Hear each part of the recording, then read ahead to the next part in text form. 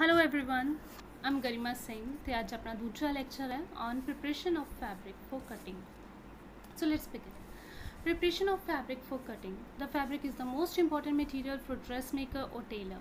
Before working on any fabric, you first need to prepare it for cutting. Properly prepared fabric will perform according to your expectations. ਕਿਸੇ ਵੀ tailor ਲਈ dress maker ਲਈ ਜਾਂ simple ਤੁਸੀਂ ਘਰ 'ਚ ਕੱਪੜੇ ਸਿੰਦੇ ਹੋ ਸਾਰਿਆਂ ਲਈ ਜ਼ਰੂਰੀ ਕੀ ਹੈ? ਕੱਪੜਾ, ਠੀਕ ਹੈ? ਨੋ ਡਾਊਟ ਹੋਰ ਬਹੁਤ ਸਾਰੀਆਂ ਚੀਜ਼ਾਂ ਨੇ ਜੋ ਇੰਪੋਰਟੈਂਟ ਹੁੰਦੀਆਂ ਨੇ। ਬਟ ਜਦੋਂ ਆਪਾਂ ਕੱਪੜੇ ਨੂੰ ਮਾਰਕੀਟ ਤੋਂ ਖਰੀਦ ਕੇ ਲੈ ਆਉਂਦੇ ਹਾਂ, ਕਈ ਵਾਰ ਉਹਦੇ ਵਿੱਚ ਕਾਫੀ ਸਾਰੀਆਂ ਪ੍ਰੋਬਲਮਸ ਹੁੰਦੀਆਂ ਨੇ। ਫੋਰ ਐਗਜ਼ਾਮਪਲ ਕਾਣ ਜਿਵੇਂ ਕੱਪੜੇ ਵਿੱਚ ਕਾਣ ਹੁੰਦੀ ਹੈ ਜਾਂ ਫਿਰ ਕੱਪੜਾ ਸ਼ਰਿੰਕ ਹੋਣ ਵਾਲਾ ਹੈ। ਜ਼ਿਆਦਾਤਰ ਕਾਟਨ ਦੇ ਕੱਪੜੇ ਜਿਹੜੇ ਹੁੰਦੇ ਨੇ, ਉਹ ਸ਼ਰਿੰਕ ਹੋਣ ਵਾਲੇ ਹੁੰਦੇ ਨੇ। ਤੋ ਇਹ ਉਹ ਜਿਹੀਆਂ ਚੀਜ਼ਾਂ ਨੇ ਜਿਨ੍ਹਾਂ ਨੂੰ ਆਪਾਂ ਪਹਿਲਾਂ ਹੀ ਸਹੀ ਕਰ ਲਈਏ ਤਾਂ ਜ਼ਿਆਦਾ ਬੈਟਰ ਹੈ। ਅਗਰ ਆਪਾਂ ਇਹਨਾਂ ਨੂੰ ਅਵੋਇਡ ਕਰ ਦਾਂਗੇ, ਸਹੀ ਨਹੀਂ ਕਰਾਂਗੇ ਤਾਂ ਅੱਗੇ ਜਾ ਕੇ ਸਾਨੂੰ ਪ੍ਰੋਬਲਮ ਫੇਸ ਕਰਨੀ ਪੈ ਸਕਦੀ ਹੈ। ਸੋ ਇਹਦੇ ਲਈ ਕੁਝ ਸਟੈਪਸ ਨੇ ਜਿਹੜੇ ਆਪਾਂ ਅੱਗੇ ਪੜਾਂਗੇ। So preparation of fabric for cutting and sewing involves the following steps. First one is straightening the fabric. Second one is shrinking the fabric. Third one is ironing or pressing the fabric. ਠੀਕ ਹੈ ਅੱਜ ਆਪਾਂ ਗੱਲ ਕਰਾਂਗੇ straightening ਦਾ fabric ਹੌਲੀ ਹੌਲੀ ਆਪਾਂ next videos ਵਿੱਚ ਬਾਕੀ ਦੋ ਸਟੈਪਸ ਦੀ ਵੀ ਗੱਲ ਕਰਾਂਗੇ ਪਰ ਅੱਜ ਆਪਾਂ ਟੱਚ ਕਰਾਂਗੇ straightening the fabric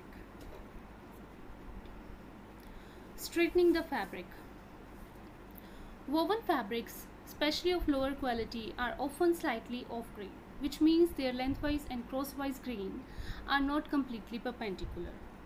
To make sure that the lengthwise or crosswise threads are at right angle and that the fabric is on grain, it's necessary to straighten one of the cut ends. There are several ways to straighten the fabric.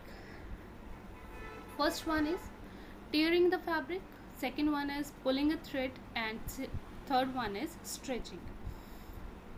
ਕੁਝ fabrics ਜਿਹੜੇ lower quality ਦੇ ਹੁੰਦੇ ਨੇ ਥੋੜਾ ਜਿਵੇਂ ਉਹਨਾਂ ਥੋੜਾ ਜਿਹਾ ਆਫ ਗ੍ਰੇਨ ਹੁੰਦੇ ਆ। ਆਫ ਗ੍ਰੇਨ ਦਾ ਮਤਲਬ ਹੈ ਕਿ ਥੋੜੇ ਉਹਨਾਂ ਦੀ ਗ੍ਰੇਨਸ ਸਿੱਧੀਆਂ ਨਹੀਂ ਹੁੰਦੀਆਂ, ਠੀਕ ਹੈ? ਕ੍ਰੋਸ ਵਾਈਜ਼ ਗ੍ਰੇਨ ਇੱਕ ਦੂਜੇ ਦੇ lengthwise grain and crosswise grain ਇੱਕ ਦੂਜੇ ਦੇ ਪਰਪੈਂਡੀਕੂਲਰ ਨਹੀਂ ਹੁੰਦੇ, ਠੀਕ ਹੈ? ਫੈਬਰਿਕ ਕਟਿੰਗ ਤੋਂ ਪਹਿਲਾਂ ਫੈਬਰਿਕ ਦੀ ਗ੍ਰੇਨ ਲਾਈਨ ਇੱਕ ਦੂਜੇ ਦੇ ਪਰਪੈਂਡੀਕੂਲਰ ਹੋਣਾ ਬਹੁਤ ਜ਼ਰੂਰੀ ਹੈ। ਉਹਦੇ ਲਈ ਆਪਾਂ ਕੁਝ ਜਿਹੜੇ ਨੀਚੇ ਸਟੈਪਸ ਦਿੱਤੇ ਹੋਏ ਨੇ, ਉਹਨਾਂ ਨੂੰ ਫੋਲੋ ਕਰਾਂਗੇ ਤੇ ਉਹਨਾਂ ਤੇ ਡਿਸਕਸ ਕਰਾਂਗੇ। ਫਸਟ ਕੀ ਹੈ ਟੀਅਰਿੰਗ ਦਾ ਫੈਬਰਿਕ ਟੀਅਰਿੰਗ ਕੀ ਹੁੰਦਾ ਹੈ ਫਾੜਨਾ ਜਿਵੇਂ ਆਪਾਂ ਕਾਗਜ਼ ਫਾੜਦੇ ਹਾਂ tearing means ਫਾੜਨਾ so fold your fabric in half length and match the selvage of the fabric the cut edge of the fabric are most slightly crooked and don't match up to get rid of it make a snip in your fabric about a few centimeters away from the cut edge then start ripping it all the way across pull away any loose threads and this will give you a straight line cross. If they don't, your fabric is still off grain so tearing the fabric ਵਿੱਚ ਕੀ ਹੈ ਅਹ ਇਸ ਤੋਂ ਪਹਿਲਾਂ ਹਾਂ ਕਰੂਪਡ ਕਰੂਪ ਦਾ ਮਤਲਬ ਹੁੰਦਾ ਹੈ ਟੇਢਾ ਮੇਢਾ ਹੋਣਾ ਸਿੱਧਾ ਨਹੀਂ ਹੈ ਟੇਢਾ ਮੇਢਾ ਠੀਕ ਹੈ ਸੋ ਟੀਅਰਿੰਗ ਦਾ ਫੈਬਰਿਕ ਵਿੱਚ ਕੀ ਹੈ ਇਨ ਦਿਸ ਮੈਥਡ ਸਭ ਤੋਂ ਪਹਿਲਾਂ ਫੈਬਰਿਕ ਨੂੰ ਫੋਲਡ ਕਰਨਾ ਹੈ ਹਾਫ ਵਿੱਚ ਲੈਂਥ ਵਾਈਜ਼ ਕਿ ਸ- ਇੱਕ ਸਾਈਡ ਦੀ ਸੈਲਵੇਜ ਜਿਹੜੀ ਹੈ ਉਹ ਦੂਜੀ ਸਾਈਡ ਦੀ ਸੈਲਵੇਜ ਨਾਲ ਮਿਲ ਜੇ। ਠੀਕ ਹੈ? ਸੈਲਵੇਜ ਮਿਲਣ ਤੋਂ ਬਾਅਦ ਚੈੱਕ ਕਰਨਾ ਕਿ ਕਪੜਾ ਕਿਤੋਂ ਉੱਚਾ ਨੀਵਾ ਤਾਂ ਨਹੀਂ, ਠੀਕ ਹੈ? ਟੇਢਾ ਮੇਢਾ ਤਾਂ ਨਹੀਂ। ਜਿਸ ਸਾਈਡ ਤੋਂ ਕੱਪੜੇ ਦੀ ਕਟਿੰਗ ਹੋਈ ਹੁੰਦੀ ਹੈ, ਉਸ ਜਗ੍ਹਾ ਤੋਂ ਜ਼ਿਆਦਾਤਰ ਕੱਪੜਾ ਉੱਚਾ ਨੀਵਾਂ ਹੋ ਹੀ ਜਾਂਦਾ, ਜਿਹਨੂੰ ਆਪਾਂ ਕਾਣ ਕਹਿੰਦੇ ਆ ਇਹਦੇ ਲਈ ਕੀ ਕਰਨਾ ਹੈ? ਫੈਬਰਿਕ ਦੀ ਸੈਲਵੇਜ ਤੋਂ ਕੁਝ ਸੈਂਟੀਮੀਟਰ ਕੱਪੜਾ ਛੱਡ ਕੇ ਇੱਕ ਕੱਟ ਲਗਾਉਣਾ ਐਂਡ ਦੈਨ ਉੱਥੋਂ ਫੈਬਰਿਕ ਨੂੰ ਫਾੜਨਾ ਸ਼ੁਰੂ ਕਰਨਾ ਆਪਾਂ ਕਟਿੰਗ ਨਹੀਂ ਕਰਨੀ ਹੈ, ਕੈਂਚੀ ਯੂਜ਼ ਨਹੀਂ ਕਰਨੀ ਹੈ, ਆਪਾਂ ਟੀਅਰ ਕਰਨਾ ਮੀਨਸ ਫਾੜਨਾ ਇਹਦੇ ਨਾਲ ਕੀ ਹੋਏਗਾ, ਜਿਹੜਾ ਕਪੜਾ ਹੈ, ਬਿਲਕੁਲ ਸਿੱਧਾ ਜਾਏਗਾ, ਸਿੱਧਾ ਫਟੇਗਾ ਔਰ ਤੁਹਾਨੂੰ ਇੱਕ ਸਟ੍ਰੇਟ ਗ੍ਰੇਨ ਲਾਈਨ ਮਿਲ ਜੇਗੀ। ਐਂਡ ਹਾਂ, ਇੱਕ ਗੱਲ ਹੋਰ ਆਪਾਂ ਧਿਆਨ 'ਚ ਰੱਖਣੀ ਹੈ, ਜ਼ਰੂਰੀ ਨਹੀਂ ਕਿ ਸਾਰੇ ਕੱਪੜਿਆਂ ਨੂੰ ਆਪਾਂ ਟੀਅਰ ਕਰ ਸਕਦੇ ਹਾਂ ਓਕੇ ਕੁਝ ਕੱਪੜੇ ਇਹੋ ਜਿਹੇ ਹੁੰਦੇ ਨੇ ਜਿਨ੍ਹਾਂ ਤੇ ਆਪਾਂ ਇਹ ਚੀਜ਼ ਯੂਜ਼ ਸਟੀਅਰਿੰਗ ਦਾ ਫੈਬਰਿਕ ਮੈਥਡ ਯੂਜ਼ ਨਹੀਂ ਕਰ ਸਕਦੇ। ਕੁਝ ਕੱਪੜਿਆਂ ਤੇ ਆਪਾਂ ਬਹੁਤ ਈਜ਼ੀਲੀ ਲਾਈਕ ਜਿਵੇਂ ਕਾਟਨ ਦੇ ਕੱਪੜੇ ਨੇ, ਇਹਨਾਂ ਤੇ ਬਹੁਤ ਈਜ਼ੀਲੀ ਇਹ ਪ੍ਰੋਸੈਸ ਜਿਹੜਾ ਫੋਲੋ ਕਰ ਸਕਦੇ ਆ। ਉਹ ਈਜ਼ੀ ਮੈਥਡ ਮਤਲਬ ਇਸ ਕਾਟਨ ਦੇ ਫੈਬਰਿਕਸ ਲਈ ਈਜ਼ੀ ਮੈਥਡ ਹੈ ਟੇਅਰਿੰਗ ਬਟ ਹੁਣ ਜਿਵੇਂ ਨਿਟਡ ਮਟੀਰੀਅਲ ਹੈ ਨਿਟਡ ਮਟੀਰੀਅਲ ਨੂੰ ਆਪਾਂ ਟੇਅਰ ਨਹੀਂ ਕਰ ਸਕਦੇ। ਉਹ ਆਲਰੇਡੀ ਸਟ੍ਰੈਚੇਬਲ ਹੁੰਦਾ, ਉਹ ਸਟ੍ਰੈਚ ਹੋਏਗਾ ਟੇਅਰ ਨਹੀਂ ਹੋਏਗਾ। Okay so let's go to the next okay ਇਸ ਪਿਕਚਰ ਹੈ ਜਿਹਦੇ ਵਿੱਚ ਤੁਹਾਨੂੰ ਦਿਖਾਇਆ ਹੋਇਆ ਕਿ ਕਿਵੇਂ ਕੱਪੜੇ ਨੂੰ ਫਾੜਨਾ ਹੈ ਨੈਕਸਟ ਹੈ pulling a thread pulling a thread means ਕਿ ਧਾਗਾ ਕੱਢਣਾ ਹੈ ਤੁਸੀਂ ਵਿੱਚੋਂ ਦੀ many fabrics won't tear easily if it doesn't try to pull out a thread make a snip close to one cut end and identify one thread that goes all the way across start pulling the thread out all the way across the fabric when you pull out the single thread it will give you a nice straight line across the fabric using this line as a guide you can cut all the way across the fabric ਠੀਕ ਹੈ ਜਿਵੇਂ ਮੈਂ ਤੁਹਾਨੂੰ starting 'ਚ ਹੀ ਦੱਸਿਆ ਪੁਲਿੰਗ a thread means ਕਿ ਤੁਸੀਂ ਇੱਕ ਧਾਗਾ ਕੱਢਣਾ ਹੈ ਕੱਪੜੇ ਵਿੱਚੋਂ ਔਰ ਉਹਨੂੰ ਸੈਲਵੇਜ ਟੂ ਸੈਲਵੇਜ ਖਿੱਚਦੇ ਜਾਣਾ ਜੇ ਉਸ ਤਰ੍ਹਾਂ ਤੁਸੀਂ ਖਿੱਚਦੇ ਜਾਓਗੇ ਤਾਂ ਤੁਹਾਨੂੰ ਇੱਕ ਲਾਈਨ ਮਿਲ ਜੇਗੀ, ਸਟ੍ਰੇਟ ਗ੍ਰੇਨ ਲਾਈਨ ਮਿਲ ਜੇਗੀ, ਜਿਹਦੇ ਤੋਂ ਤੁਸੀਂ ਕਟਿੰਗ ਕਰਨੀ ਹੈ। ਉਹਦੇ ਨਾਲ ਤੁਹਾਡਾ ਕੱਪੜਾ ਜਿਹੜਾ, ਉਹ ਬਿਲਕੁਲ ਸਿੱਧਾ ਹੋ ਜਾਏਗਾ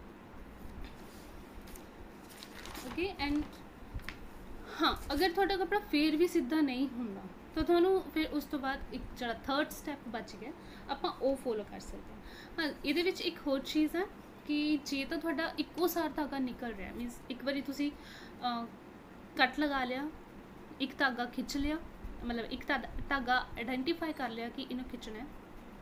ਜੇ ਤੋਂ ਸੈਲਵੇਜ ਟੂ ਸੈਲਵੇਜ ਇੱਕੋ ਸਾਰ ਚ ਨਿਕਲ ਰਿਹਾ ਦੈਨ ਵੈਲ ਐਂਡ ਗੁੱਡ ਔਰ ਅਗਰ ਜੇ ਨਹੀਂ ਨਿਕਲ ਰਿਹਾ, ਤਾਂ ਛੋਟੇ ਛੋਟੇ ਸਟੈਪਸ ਲੈ ਕੇ ਉਹ ਧਾਗੇ ਨੂੰ ਕੱਢ ਲਓ। ਉਸ ਤੋਂ ਬਾਅਦ ਤੁਹਾਨੂੰ ਇੱਕ ਗ੍ਰੇਨ ਲਾਈਨ ਮਿਲ ਜੇਗੀ ਜਿਹਦੇ ਤੇ ਤੁਸੀਂ ਕਟਿੰਗ ਕਰੋਗੇ। ਔਰ ਉਹਦੇ ਨਾਲ ਤੁਹਾਡਾ ਫੈਬਰਿਕ ਜਿਹੜਾ, ਉਹ ਸਿੱਧਾ ਹੋ ਜਾਏਗਾ ਤੇ ਫੈਬਰਿਕ ਚੋਂ ਕਾਂਚ ਜਿਹੜੀ ਉਹ ਨਿਕਲ ਜੇਗੀ ਨੈਕਸਟ ਆਪਾਂ ਫੋਟੋ ਵਿੱਚ ਦੇਖਾਂਗੇ ਕਿ ਕਿਵੇਂ ਥ੍ਰੈਡ ਨੂੰ ਆਪਾਂ ਕੱਢਣਾ ਹੈ। ਹੁਣ ਆ ਫੋਟੋ ਵਿੱਚ ਜਿਵੇਂ ਉਹ ਪਲੱਕਰ ਲੈ ਕੇ ਇੱਕ ਧਾਗਾ ਖਿੱਚ ਰਿਹਾ ਹੈ ਔਰ ਉੱਥੇ ਵਲ ਵੀ ਨਜ਼ਰ ਆ ਰਿਹਾ ਹੈ, ਜਿੱਥੋਂ ਦੀ ਧਾਗਾ ਖਿੱਚਿਆ ਜਾ ਰਿਹਾ ਹੈ। ਇਸੇ ਢੰਗ ਨਾਲ ਇੱਕ ਛੋਟਾ ਜਿਹਾ ਕੱਟ ਲਗਾ ਕੇ ਤੁਸੀਂ ਉਹਦੇ ਵਿੱਚ ਦੇਖਣਾ ਹੈ ਕਿ ਕਿਹੜਾ ਧਾਗਾ ਤੁਸੀਂ ਖਿੱਚਣਾ ਔਰ ਇੱਕ ਧਾਗਾ ਖਿੱਚ ਕੇ ਉਹਨੂੰ ਸੈਲਵੇਜ ਟੂ ਸੈਲਵੇਜ ਮਤਲਬ ਅਕ੍ਰੋਸ ਦਾ ਸੈਲਵੇਜ ਪੂਰਾ ਐਂਡ ਤੱਕ ਖਿੱਚਣਾ ਜਿਹਦੇ ਨਾਲ ਤੁਹਾਨੂੰ ਇੱਕ ਕੰਪਲੀਟ ਕ੍ਰਾਸ ਗ੍ਰੇਨ ਲਾਈਨ ਮਿਲ ਜੇਗੀ ਸੋ ਨੈਕਸਟ ਆਪਣਾ ਹੈ ਸਟ੍ਰੈਚਿੰਗ ਇਹ ਆਪਣਾ ਲਾਸਟ ਮੈਥਡ ਹੈ ਇਸ ਤੋਂ ਬਾਅਦ ਬਾਕੀ ਦੇ ਸਟੈਪਸ ਸ਼ੁਰੂ ਹੋ ਜਾਣਗੇ ਸੋ ਸਟ੍ਰੈਚਿੰਗ ਕੀ ਹੈ ਖਿੱਚਣਾ ਆਬਵੀਅਸਲੀ ਤੁਹਾਨੂੰ ਸਾਰਿਆਂ ਨੂੰ ਪਤਾ ਹੋਏਗਾ ਕਿ ਸਟ੍ਰੈਚਿੰਗ ਕੀ ਹੁੰਦੀ ਹੈ okay another method to try if ripping or pulling a thread isn't successful is to stretch the fabric fold fabric in half with selvage together when the fabric is offering one of the corner is short holding the short corner in one hand grab the opposite corner with the other hand and gently stretch the fabric on the bias keep repeating until they line up okay ਜਿਵੇਂ ਮੈਂ ਤੁਹਾਨੂੰ starting 'ਚ ਦੱਸਿਆ ਠੀਕ ਹੈ ਕਿ selvedge selvedge ਨੂੰ selvedge ਨਾਲ ਮਿਲਾਣਾ ਹੈ ਤੇ ਫੋਲਡ ਕਰਨਾ ਹੈ ਉਹ ਤੁਹਾਡਾ ਹੋ ਜਾਏਗਾ ਲੈਂਥ ਵਾਈਜ਼ ਠੀਕ ਹੈ ਸੋ ਫਿਲਹਾਲ ਆਪਣਾ ਜੋ ਮੈਥਡ ਹੈ ਉਹ ਹੈਗਾ ਸਟ੍ਰੈਚਿੰਗ ਇਸ ਦੇ ਲਈ ਕੀ ਆ, ਆਪਾਂ ਫੋਲਡ ਕਰਨਾ ਕੱਪੜੇ ਨੂੰ, ਜਿਵੇਂ ਮੈਂ ਤੁਹਾਨੂੰ ਪਹਿਲਾਂ ਦੱਸਿਆ, ਠੀਕ ਹੈ? ਦੋਨੋਂ ਕੰਨੀਆਂ ਮਿਲਣੀਆਂ ਚਾਹੀਦੀਆਂ। ਦੈਨ ਤੁਸੀਂ ਦੇਖੋਗੇ ਕਿ ਫੈਬਰਿਕ ਮਤਲਬ ਤੁਸੀਂ ਦੇਖਣਾ ਹੈ ਚੈੱਕ ਕਰਨਾ ਹੈ ਕਿ ਫੈਬਰਿਕ ਕਿਤੋਂ ਉੱਚਾ ਨੀਵਾ ਤਾਂ ਨਹੀਂ? ਜੇ ਕਿਤੋਂ ਉੱਚਾ ਨੀਵਾ ਤਾਂ ਤੁਸੀਂ ਉਹਨੂੰ ਬਹੁਤ ਹਲਕੇ ਹੱਥਾਂ ਨਾਲ ਹੌਲੀ ਹੌਲੀ ਹਲਕੇ ਹੱਥਾਂ ਨਾਲ ਸਟ੍ਰੈਚ ਕਰਕੇ ਬਰਾਬਰ ਲੈ ਕੇ ਆਣਾ। ਓਕੇ ਉਸ ਤੋਂ ਬਾਅਦ ਤੁਸੀਂ ਦੁਬਾਰਾ ਫਿਰ ਸੇਮ ਚੀਜ਼ ਰਿਪੀਟ ਕਰਨੀ ਹੈ। ਉਹਨੂੰ ਚੈੱਕ ਕਰਨਾ ਚੈੱਕ ਕਰਨ ਤੋਂ ਬਾਅਦ ਫਿਰ ਹਲਕੇ ਹੱਥਾਂ ਨਾਲ ਸਟ੍ਰੈਚ ਕਰਨਾ ਹੈ ਤਾਂ ਕਿ ਜਿਹੜਾ ਤੁਹਾਡਾ ਕੱਪੜਾ ਹੈ, ਉਹ ਹੌਲੀ ਹੌਲੀ ਕਰਕੇ ਬਰਾਬਰ ਆ ਜਾਏ। ਐਂਡ ਇੰਨੀ ਜ਼ੋਰ ਦੀ ਵੀ, ਇੰਨਾ ਪ੍ਰੈਸ਼ਰ ਨਾਲ ਸਟ੍ਰੈਚ ਨਹੀਂ ਕਰ ਦੇਣਾ ਕਿ ਜਿੰਨਾ ਤੁਸੀਂ ਠੀਕ ਕਰਨਾ ਚਾਹ ਰਹੇ ਹੋ, ਉਹਦੇ ਤੋਂ ਉਲਟ ਹੋ ਜਾਵੇ ਕਪੜਾ ਬਿਲਕੁਲ ਹੀ ਖਰਾਬ ਹੋ ਜਾਵੇ। ਇਹ ਬਹੁਤ ਹਲਕੇ ਜਿਹੇ ਹੱਥਾਂ ਨਾਲ ਸਟ੍ਰੈਚ ਕਰੀ ਜਾਣਾ ਐਂਡ ਉਸ ਤੋਂ ਬਾਅਦ ਮਤਲਬ ਚੈੱਕ ਕਰੀ ਜਾਣਾ ਨਾਲ ਦੀ ਨਾਲ। ਹੋ ਸਕਦਾ ਹੈ ਪਹਿਲੀ ਵਾਰ ਚ ਨਾ ਆਵੇ। ਤੁਹਾਨੂੰ ਦੋ ਜਾਂ ਤਿੰਨ ਵਾਰੀ ਸੇਮ ਚੀਜ਼ ਨੂੰ ਰਿਪੀਟ ਕਰਨਾ ਪਵੇ। ਸੋ ਨੈਕਸਟ ਸਟ੍ਰੈਚਿੰਗ ਦੀ ਇੱਕ ਇਮੇਜ ਹੈ, ਠੀਕ ਹੈ ਪਿਕਚਰ ਹੈ, ਕਿਵੇਂ ਉਹ ਸਟ੍ਰੈਚ ਕਰ ਰਹੇ ਨੇ, ਠੀਕ ਹੈ ਬਟ ਜਦੋਂ ਤੁਸੀਂ ਫੋਲਡ ਇੱਕ ਵਾਰੀ ਫੋਲਡ ਕਰ ਲਿਆ, ਤੁਹਾਨੂੰ ਪਤਾ ਲੱਗ ਗਿਆ ਕਿ ਇੱਥੋਂ ਦੀ ਕੱਪੜਾ ਘੱਟ ਹੈ।